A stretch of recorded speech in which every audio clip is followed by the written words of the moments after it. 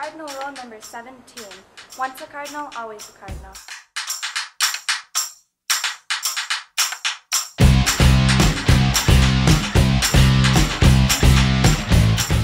What rules do you live by?